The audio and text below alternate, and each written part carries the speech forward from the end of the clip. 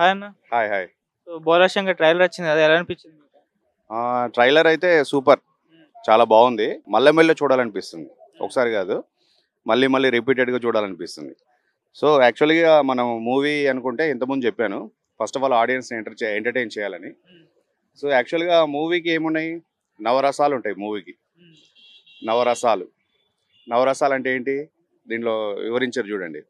హాస్యం ఉండాలి ఎంటర్టైన్మెంట్ ఉండాలి రౌద్రం ఉండాలి అన్నీ ఉండాలి. ఒక డైరెక్టర్స్ మూవీ తీయాలంటే బేసిక్స్ తెలుసుకోవాలి ఫస్ట్. బేసిక్స్ ఏమి ఉండాలి నవరసాలు ఉండాలి. సో ఇప్పుడు చిరంజీవి గారి సినిమా చూస్తే మనకి అన్ని వర్గాల వారికి ఇప్పుడు గాలి ఎలా అందరికీ మనకు ఆక్సిజన్ ఇస్తుందో అట్లా చిరంజీవి గారి మూవీలో ప్రతి ఏరియా వాళ్ళు. For example Kosta Andhra Rayalaseema Nizam. ఇట్లా ప్రతి ఒక్కరిని ప్రతి ఆడియన్స్ని మాస్ ఆడియన్స్ కానీ క్లాస్ ఆడియన్స్ కానీ ప్రతి ఒక్కరిని అలరిస్తుంది. సో ఈ ట్రైలరు అట్లా టీజరు అవన్నీ అందులో మిస్ అయింది ఏదైనా ఉంటే నాకు చెప్పండి. అన్నీ ఉన్నాయి దాంట్లో. లేదు అన్న సమస్య లేదు. ప్రతి ఎలిమెంట్ ఉంది. ఫర్ ఎగ్జాంపుల్ ఇప్పుడు అలా బేసిక్స్ ఫాలో చేసి సినిమా తీస్తే హండ్రెడ్ పర్సెంట్ సక్సెస్ అవుతుంది. సో చిరంజీవి గారు ప్రతిసారి అంతే ప్రతి మూవీలో ఇప్పుడు ఈ మూవీలో కూడా మనకి ఎంటర్టైన్మెంట్ మహిళలు ముఖ్యంగా మహిళలు ఎంటర్టైన్మెంట్ అట్లే కామెడీ పరంగా బ్రహ్మానందం గారు కానీ ప్రతిదీ టేకింగ్ కానీ హై క్వాలిటీస్ అన్నీ ఉన్నాయి. ఫాస్ట్ స్టోరీ ఒకటి చెప్తాను మీకు. జగదేక వీరుడు అతిలోక సుందరి సినిమా రిలీజ్ అప్పుడు ఏం జరిగిందంటే బాగా ఫ్లడ్స్ వచ్చాయి.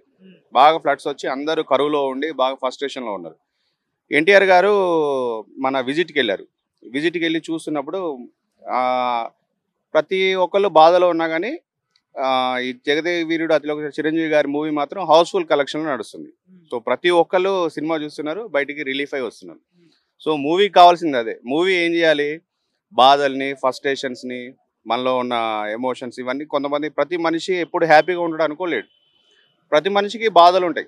ప్రతి మనిషికి డిస్టర్బెన్సెస్ ఉంటాయి. ఆ డిస్టర్బెన్స్ ఎలా పోతాయి? ఒక ఫ్రెండ్తో కూర్చుంటే వెళ్ళిపోతాయి. కానీ ఫ్రెండ్తో కూర్చున్నా కానీ కొన్ని బాధలు పోవు.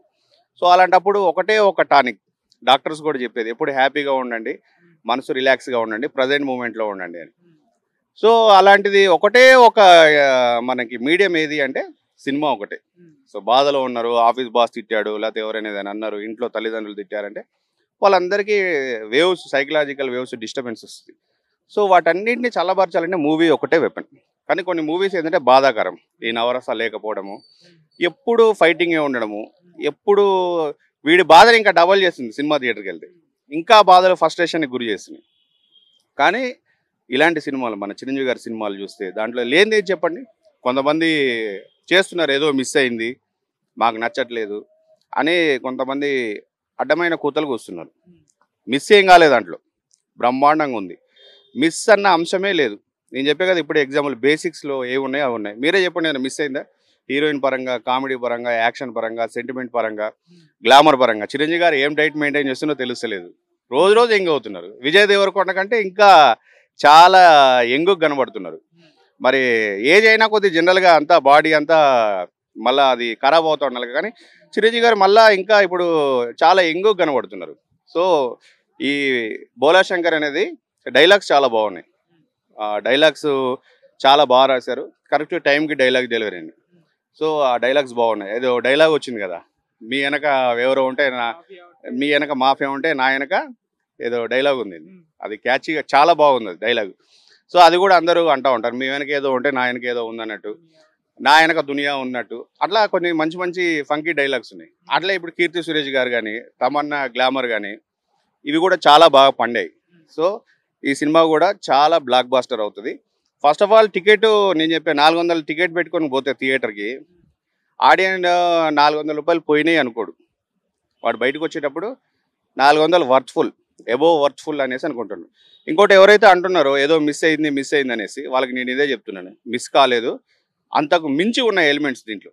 మిస్ అనేదే లేదు. అన్నీ ఉన్నాయి దీంట్లో. డైరెక్టర్ విషయానికి వస్తే మెహర్ రమేష్ తీసారు సినిమా. ఆయన చూసుకుంటే ఇప్పటివరకు అసలు ఒక్క హిట్లే అన్ని ఫ్లాప్లే ఉన్నాయి. సో ఆ సెంటిమెంట్ ఏమన్నా మళ్ళీ ఈ సినిమాకి వర్కౌట్ అవుతుందేమో అని ఫ్యాన్స్ కూడా భయపడుతున్నారు. అట్లా ఏం లేదండి. ఇప్పుడు మేయర్ రమేష్ గారు ఎవరు ఎవరి సారథ్యంలో సినిమా తీస్తున్నారు? ఎవరి గైడెన్స్లో చేస్తున్నారు? ఇప్పుడు గోల్డ్కి విలువ ఎప్పుడు వస్తుంది మంచిగా అది ఎవరైతే ఉన్నారో వాళ్ళ మీద ఇప్పుడు వెంకటేశ్వర స్వామికి ఉంది. కిరీటం విలువ ఉండదు. జ్యువెలరీ షాప్లో పెడితే అది తీసుకొచ్చి వెంకటేశ్వర స్వామి నెత్తి మీద పెడితే ఎలా ఉంటుంది? కిరీటానికే విలువ వస్తుంది. అన్ననే ఇప్పుడు మనకి ఎవరు దేవుడు సినిమా ఇండస్ట్రీకి చిరంజీవి గారు భగవంతుడు లాంటి ఆయన అందరినీ ఆరాధిస్తారు. మొన్న బేబీ సినిమా కూడా దగ్గర వెళ్ళి పాపం ఆయన అమ్మాయిని ఆదరించడం ఆమెని ఎంకరేజ్ చేయడం జరుగుతుంది. సో ఇప్పుడు మెహర్ రమేష్ ఏముంది? వాళ్ళు ఫస్ట్ నుండి చెప్తున్నా చిరంజీవి గారు పవన్ కళ్యాణ్ మెగా ఫ్యామిలీ ఎప్పుడు ఆదుకునే ఫ్యామిలీ. ఆయన ఏదో పాపం ఏదో అలా ఫెయిల్యూర్స్లో ఉన్నా కానీ ఆయన ఎవరు చందన చేరారు? చిరంజీవి గారు చందన చేరారు. ఆ కిరీటం అనేది వెంకటేశ్వర స్వామి లాంటి మన చిరంజీవి గారి దగ్గర చేరింది సో కాంబినేషన్ వెంకటేశ్వర స్వామి చిరంజీవి. ఇద్దరు కాంబినేషన్లు ఏమవుతుంది? బ్లాక్ బాస్టర్ అవుతుంది. సో అలాంటి ఏమి లేవు. తమిళ్ళో కూడా సూపర్ ఉంది సినిమా.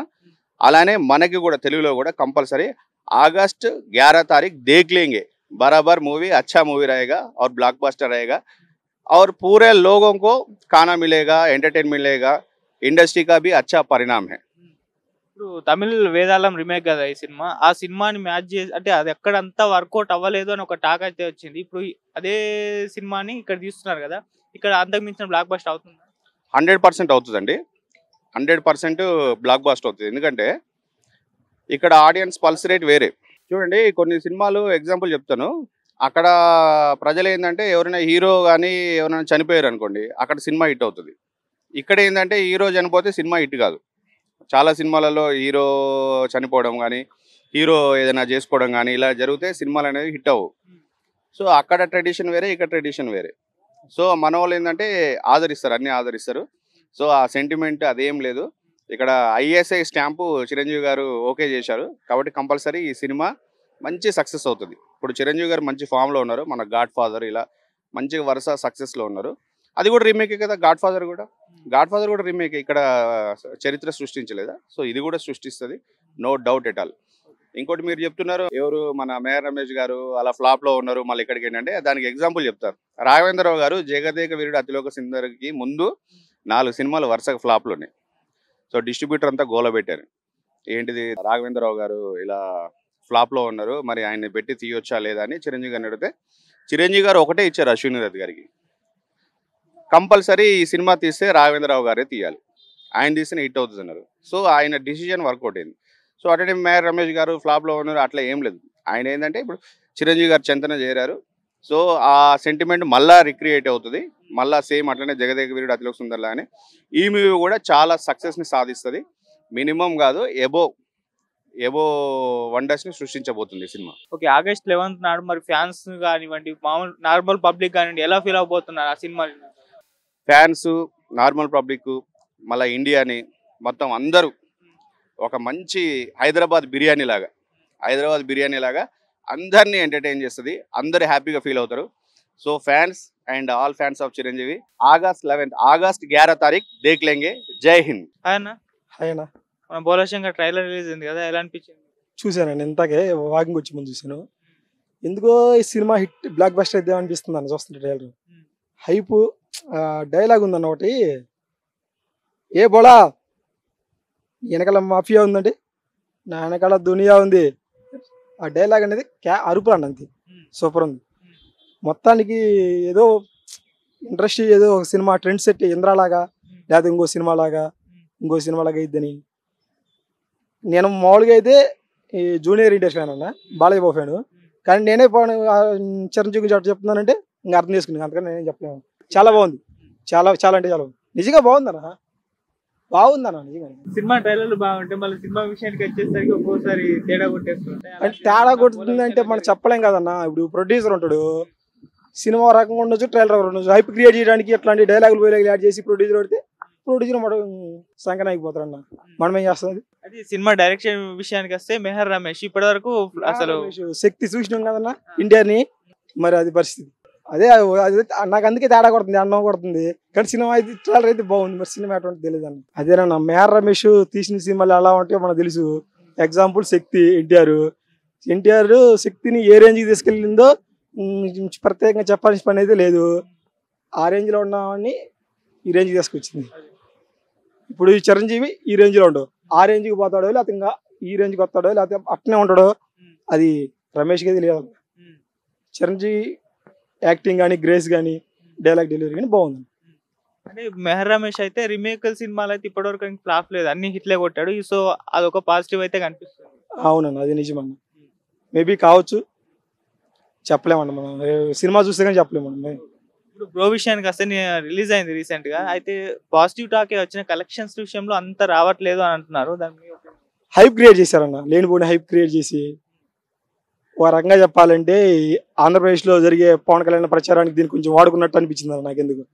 లేనిపోయిన డైలాగులు క్రియేట్ చేసి గోపాల గోపాల సినిమాల్లో దేవుళ్ళ చూపించి హ్యాపీ అట్ అయితే క్రియేట్ చేశారు. ఉన్నదాన్ని కొద్దిగా ఎక్కువ చేసి చూపించారని నా అభిప్రాయం. సినిమా? సినిమా నేను చూశానన్న ట్రైలర్ చూశాను. సినిమా కూడా చూద్దాం పోయి నాకు టికెట్లు దొరకలేదన్న. మా ఫ్రెండ్ చెప్తే చెప్తున్నాను ఇది నేనే చూడలేదన్న. సినిమా అయితే అంత లేదంట అను ఉంది- బాగానే ఉంది కానీ అనుకున్నంత లేదన్న. ఈ వన్ మంత్ గ్యాప్లో ఇప్పుడు ఆల్రెడీ బ్రో రిలీజ్ అయిపోయింది. మన బోలా శంకర్ వచ్చేది ఉంది. ఆ తర్వాత వరుణ్ తేజ్ మూవీ ఉంది. మూడు సినిమాలు మెగా ఫ్యామిలీ వన్ మంత్ గ్యాప్లో వస్తున్నాయి. ఏది ఎక్కువ పెద్ద హిట్గా నిలిచే అవకాశం? ఏమో చెప్పలేమండి నేను చూడలేదు కాబట్టి సినిమా. ఆ వరుణ్ తేజ్ ఎప్పుడు వచ్చిందో నాకు తెలియదు ఒకటి మెయిన్ నెక్స్ట్ మంత్. అది ఎన్నో తారీఖు తెలియదు అది నేను చూస్తానో కూడా తెలియదు నేను ఇప్పుడు తెలంగాణలో ఉన్నా. రేపు లోకేష్ పాదయాత్రలో ఆంధ్ర పోతా. నేను పార్టిసిపేట్ చేయాలి దర్శి కాన్స్టిట్యున్సీలో. ఏమో తెలియదు అన్న. ఒకవేళ నాకు అడిగి ఇడుగుండి నేను ఇండిపెండెంట్ నిలబడే అవకాశాలు ఉండొచ్చు. నేను ఎక్కడ ఏడైనా ఎలా ఉంటా నాకు కూడా తెలియదు సినిమా నేను చూస్తాను చూడడం కూడా తెలియదు థ్యాంక్స్ అన్న.